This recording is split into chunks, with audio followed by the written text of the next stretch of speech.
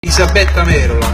Io mi sono ricandidata con Gerardo Massaro perché credo innanzitutto nell'amico Gerardo Massaro. Con gli amici con gli amici ci si può anche litigare per fare pace, per chiarirsi. E questo